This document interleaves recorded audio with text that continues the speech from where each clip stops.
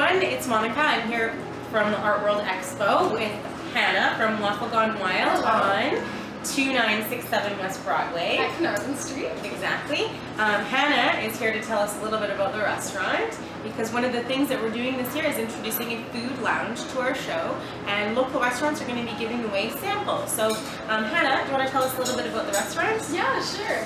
So we're a cafe on West Broadway and we serve bubble tea as well as fresh Belgian Liège style waffles. We opened a little over a year ago and we're just dedicated to having happy customers and a nice environment for people to enjoy our amazing food. Excellent, sounds good.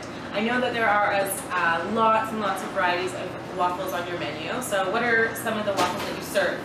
Well, we do serve fresh baked to order Belgian Liège style waffles which are sweetened with honey and pearl sugar on the inside, and then they're kind of caramelized on the outside for a really delicious taste. And we serve sweet and savory varieties. Excellent. So what are your personal favorites? I guess I'd have to say my personal favorites for sweet waffles, I'd go with these Japanese matcha waffle with a strawberry pie base. It's a signature creation waffle, so it's nice and fancy. Yummy. And for the savory waffles, I'd have to go with the Japanese okonomiyaki which hopefully we're going to get to try today. Oh, so, which one is this one? So this is our apple blossom waffle. It actually is made with an apple pie waffle base. So I'll just cut into it so you guys can see.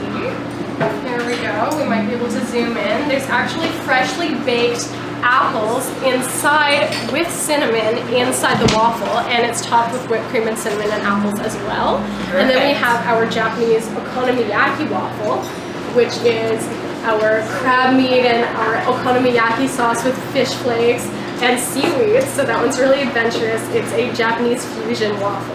Excellent. I don't think I've ever seen waffles like this before. Oh, I know, it's very exciting. Wild. I know, that's what, that hence the name, right? Um, at the show, what can guests expect to see from Waffle Gone Wild this year?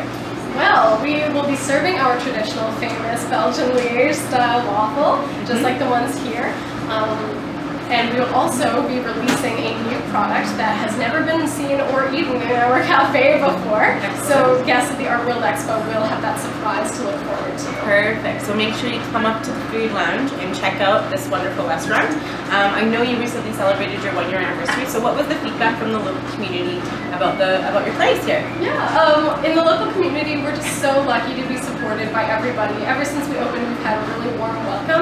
So we decided to give back to the community by starting our Waffle Gone Wild charity event. So every month we'll be donating um, some donations to a local charity that we'll decide in the shop because we want to start giving back to the community that loves us so much. So we're really grateful for that. That's so awesome. So thank you so much, Hannah. Yeah, it's been so nice to talk to you and um, see the little cafe here. And I'm looking forward to eating some of these waffles myself. But um, thank you so much. We're looking so forward to having you at the show this year. Yes. And um, we'll see everybody at the Art World Expo. Right. Tickets will be available at the cafe and also on our website. So check us out and we'll see you on May 2nd. Thank you.